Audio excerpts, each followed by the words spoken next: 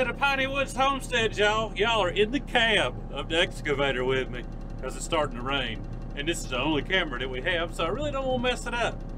I'm working in the boneyard, y'all. And what I mean by that is where I bury deer every year after we have cleaned everything and we need to get rid of the bones. And so I try to pick a new spot every year to get that done. That's what I'm doing, getting this prepared. Got rain coming in. It is raining. And I want to get some deer bones buried before it gets sloppy wet out here and I can. So guys, you're going to be with me in the cab here for just a little bit. Hopefully I can keep it from being too shaky for you.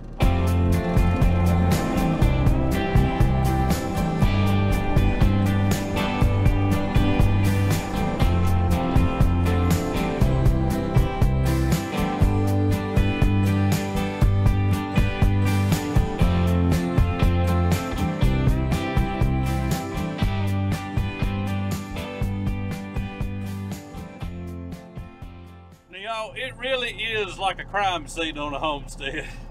And I can say that because I used to do that kind of work. But underneath this plastic over here is where I have some remains that I need to take care of. And it's kind of in a wash going down to a dirt hole that I use to dig dirt out and keep for selling. And I need to get it on out of here before it gets too muddy. But it's like a crime scene, y'all, living on a homestead. It honestly really is a lot of the time. All right, now I'll spare you all the gross details. We normally compost every single thing that we don't use. But when it comes to things that just won't break down, y'all, I bury that stuff. And it breaks down over time and we end up being having some good soil that we can actually dig out of here at times to top our raised beds off. So it gets composted right here and it gets reused. I keep putting dirt back into hole from other places and it's just one way to continue to use something that you think really doesn't have a use. But it'll take a few years for it to break down to the point that we can do that. And one thing that I am pleased with or blessed with, you know, if, if you've been following us for any amount of time, you know that I had, what can I call it? Call it the dragon flu. You know, I had that a few years ago. And it took my sense of smell away still to this day. Sense of smell, that's right. I, stick, I can taste a little bit, but I really can't smell anything. So when I do stuff like this, it comes in really handy, y'all.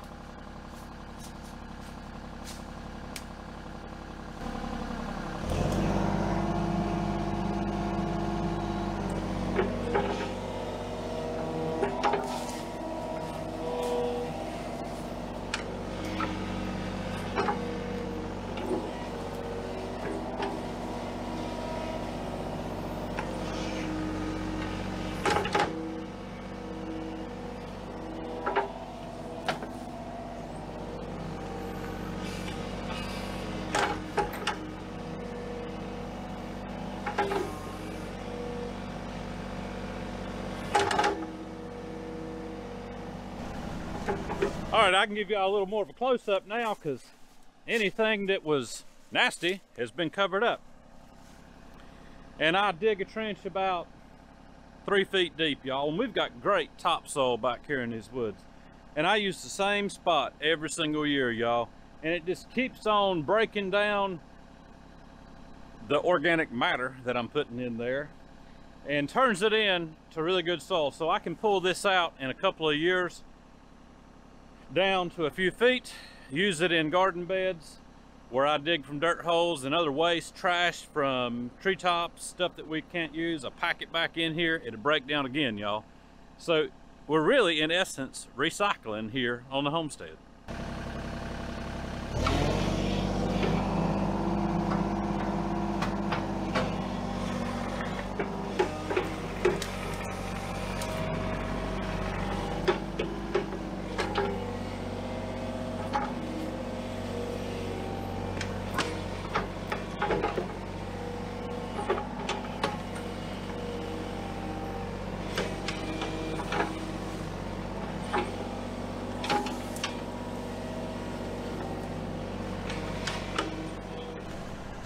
All right, the rain has stopped so I can get this camera back out. That job is done. I knew it had to be done before I think they're calling for maybe an inch or two of rain over the next day or two. And we need it, y'all. It's dry as a bone. If you saw me dig those post holes for that, I don't know what you really call it, that frame that I put up so that we can skin hogs. Y'all, we actually also scald pigs, but we scald, scald our smaller pigs, barbecue pigs, because it's easier for Lisa and I to handle. We've done it both ways in the past, but with just the two of us, or if somebody wants to come over and help, it's a whole lot easier for us skinning. Let's talk about the pigs real quick since I'm down here with them.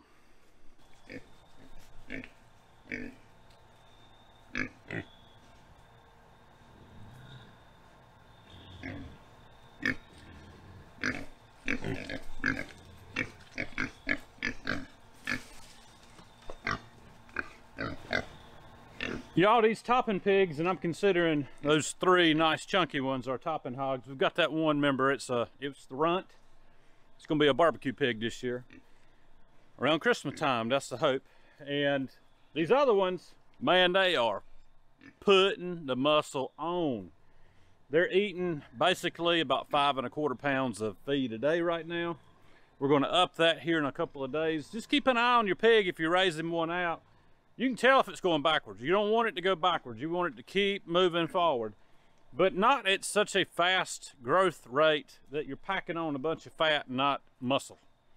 But these are looking fantastic. We've been raising them long enough now with the experience that my father has taught me over the years on how to do that properly. But I'm not sure if we're going to breed this year.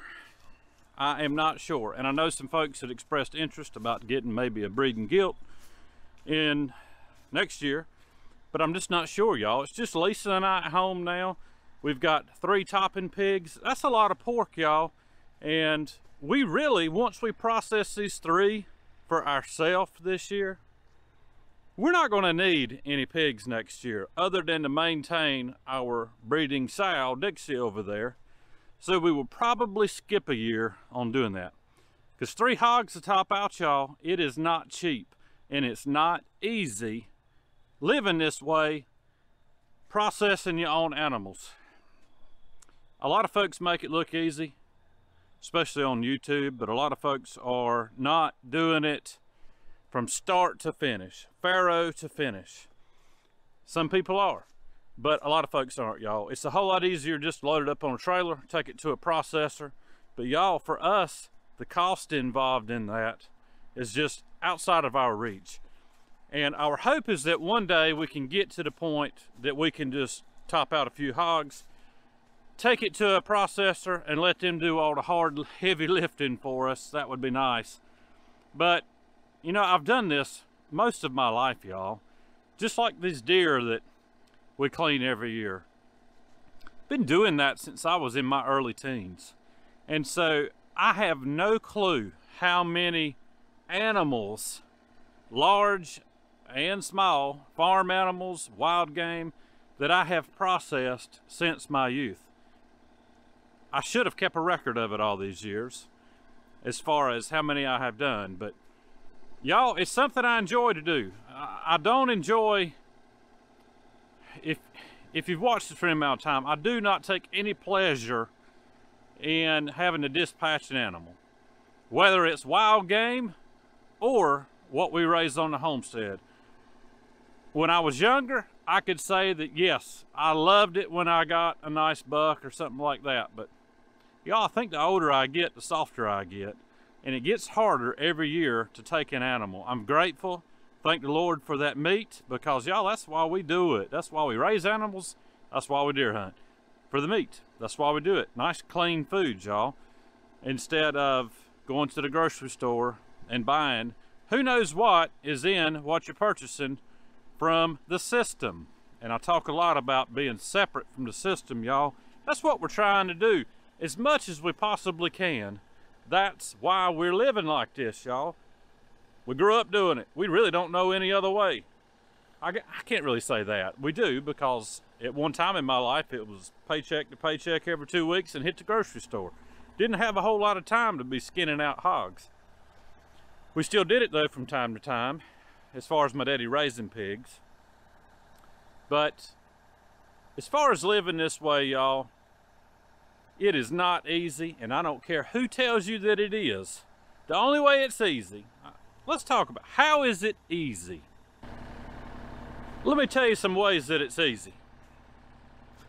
You got a whole lot of money to start with. That makes it easy because y'all, it costs more money to raise your own meat than it does to buy it in the supermarket. The system is designed that way, y'all. It's all about commodities, the price of commodities.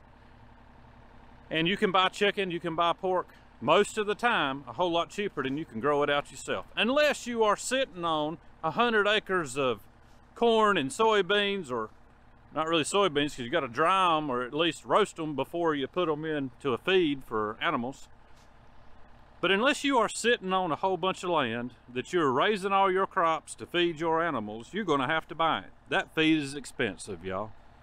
But for us, it's the peace of mind of knowing that we are eating unadulterated food, whether it is coming from our gardens or coming from the animals that we raise. But talking about making it easy, starting out with a whole lot of money. That way you are not,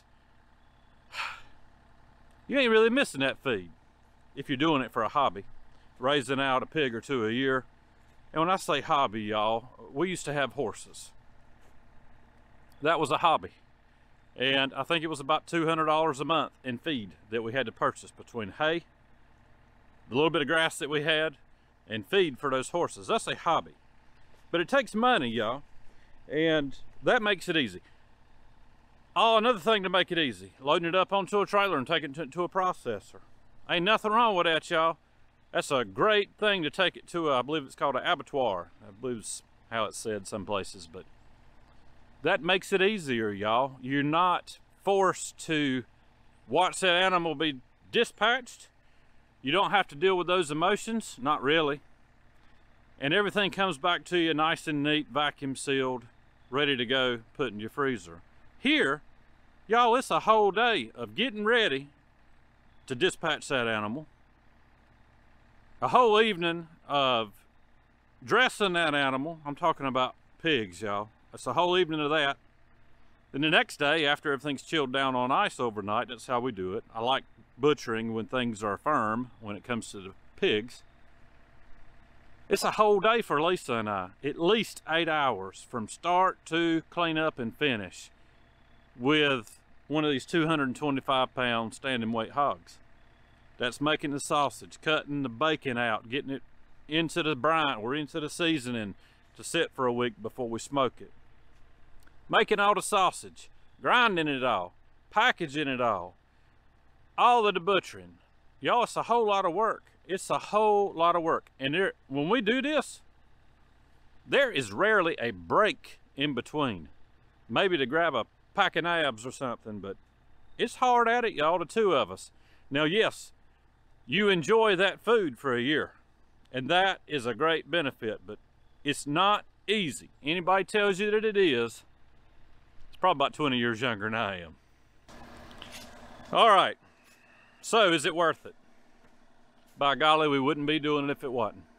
It is worth it because this pork that we're raising that we have spent five years breeding our own stock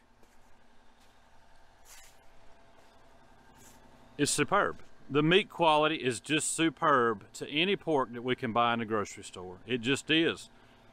It tastes better, it's darker. We know that it's healthy because we've raised it. Y'all, these pigs are a mess.